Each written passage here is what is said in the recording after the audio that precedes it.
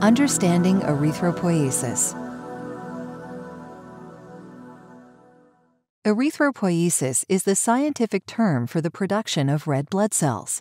These cells, called erythrocytes, carry oxygen around the body. They develop from cells in the bone marrow called stem cells.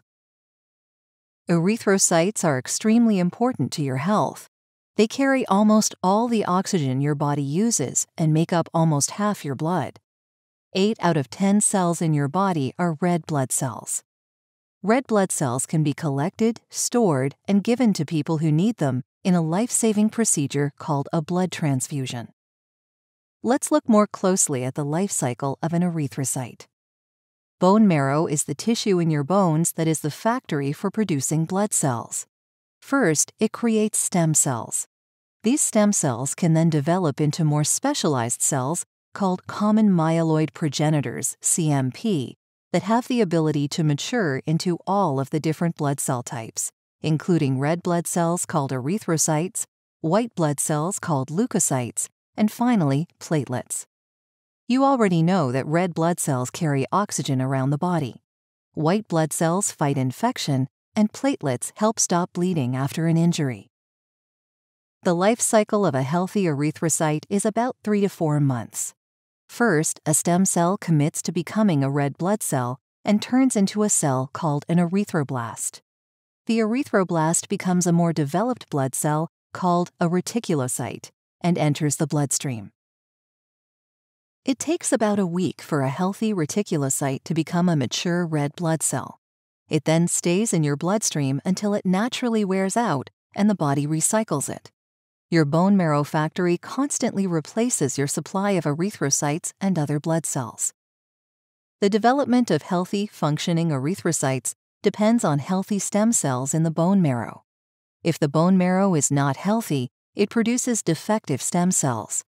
These cells may not be able to develop normally into blood cells. As a result, they may die in the bone marrow by a cellular process called apoptosis, or programmed cell death. Apoptosis is one of the body's ways of removing damaged or defective cells. There are many ways erythropoiesis can go wrong. When this occurs, the body does not have enough healthy red blood cells to carry oxygen around the body. This causes a condition called anemia. Your doctor might say you have a low red cell count. Symptoms of anemia include fatigue, difficulty getting your breath, and feeling like your heart is skipping beats.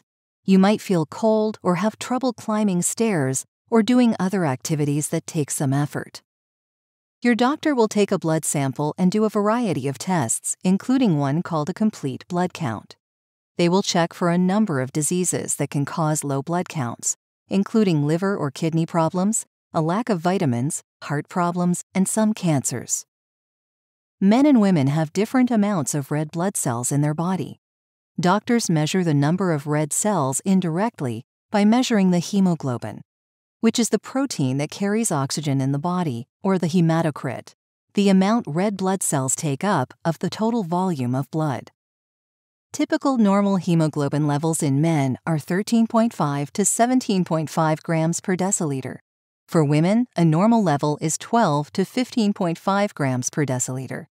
In men, normal hematocrit levels range between 41 and 50%, while in women, the normal hematocrit range is 36 to 48%. You may need medication if your erythrocyte or red blood cell count is low.